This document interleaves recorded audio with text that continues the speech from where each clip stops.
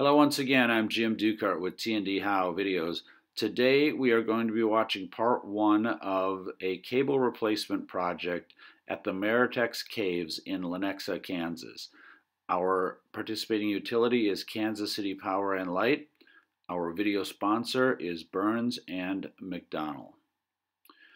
Now to set the scene here, what we are seeing is a single distribution pole that doesn't look like it serves anything other than taking in power those three phases or three lines up on top. We've got three guys up in bucket trucks, uh, two at the cross arm level, one at the top of the pole.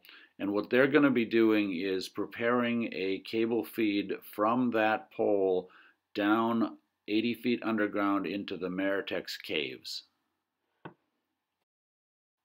Now to start with, here is those same linemen from a different view up on that pole, that distribution pole, and what one of the linemen is doing is attaching a collar to the new 4-aught copper distribution cable that's going to be used in this cable replacement.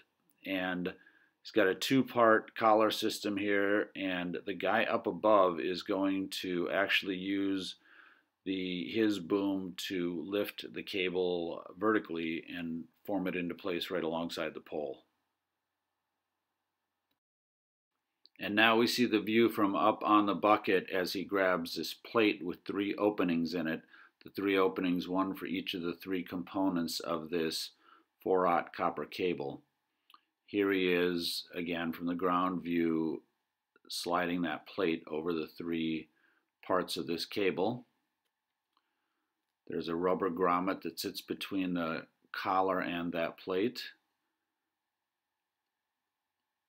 Now we see him taping up the three components of that cable so they can be pulled into place as a uniform cable. And now he's going to install what's called a Kellam grip, which is a wire mesh grip.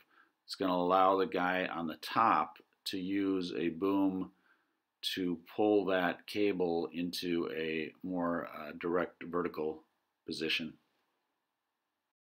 Now here we are back up in the bucket and you can see the collar and the plate above it and grommet in between. He's looking up because they're using the boom up above to pull that cable into position. And he's going to continue here uh, to try and uh, work that collar and plate assembly down on the cable. Next we see uh, now that the cable is in place, uh, all three or both bucket trucks working on securing it down. And as they pull away from the pole, you see to the right here a cable pulling reel come into the frame. And let's take a look at what that's doing.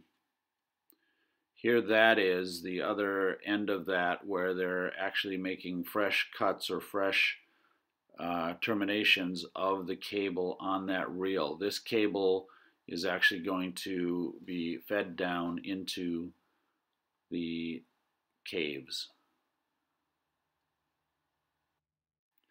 And now we've got one operator standing in the enclosure, another helping feed the cable down into the enclosure. This operator now using a remote control to guide the cable down. You see him put a collar on an opening here that leads underground.